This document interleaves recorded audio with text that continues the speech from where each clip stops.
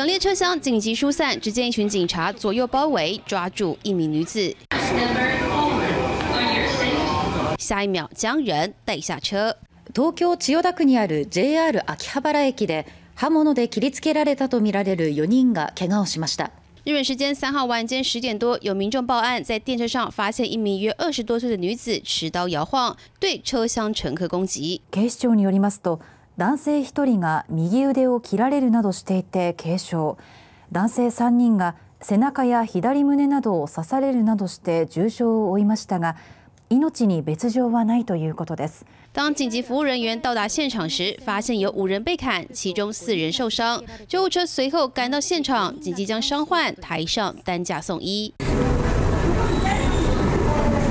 由于案发时间并非通勤高峰，但仍有不少晚归乘客看到随机砍人一幕，感到心有余悸。山手线营运也一度暂停，之后才又恢复正常。而警方也已将女嫌压制带回，正在厘清犯案动机。在新闻黄春燕报道。